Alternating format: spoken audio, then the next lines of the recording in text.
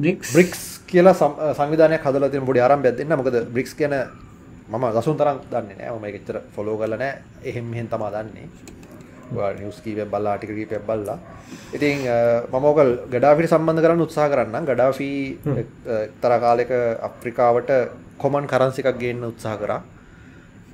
ඒ common කරන්සික ගෙනාවනන් US ඩොලයකට බලපෑමක් ඇතිවෙයි කියන බයට ගඩාෆිට වැඩක් දුන්න කියලා තමයි සාමාන්‍ය පිළිගැනීම ටිකක් ඉහල සර්කස්වල නිියස්ම බල්ල ඒකම පිළිගන්න නැති සර්කස්වල පිළිගැනීම අරක තමයි.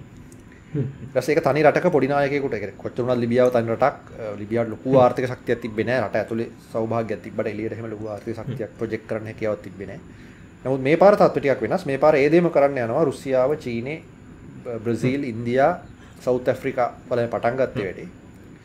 ඒගොල්ලන් කලෙක්ටිව්ලි ඇමරිකාවට ඒගොල්ලන්ට තග දාන්න බෑ කලෙක්ටිව්ලි කීයටවත් තනි තනිනුත් බෑ ගොඩක් වෙලාවට රුසියාවට චීනට ඉන්දියාවට උනත් මම හිතන්නේ දැන් තග දාන්න බෑ දැන් ඒගොල්ලෝ එකතු වෙලා මෙන්න මෙහෙම සංවිධානයක් හදලා කොමන් කරන්සි එකක් වගේ දෙයක් ගේන්න උත්සාහ කරලා ඇමරිකාවේ ආධිපත්‍යයට ලොකු බලපෑමක් ඇති කරන්න try කරලා තියෙනවා. ඉතින් ගොඩක් අය ප්‍රෙඩික්ට් කරනවා ඇමරිකන් ඩොලර් එක එහෙම නැත්තර නැති වෙලා යයි අනාගතයේදී මේ මේ සිද්ධියත් එක්ක කියන එක. මොකද මේ කන්ට්‍රීස් ඒගොල්ලන්ගේ කොමන් කරන්සිස් වලින් ඒ අතරේ ට්‍රේඩ් කරන්න ගත්තාම ලෝකෙ ට්‍රේඩ් වලින් සෑහෙන ප්‍රමාණයක් මේ රටවල් අතරේ සිද්ධ වෙන නිසා.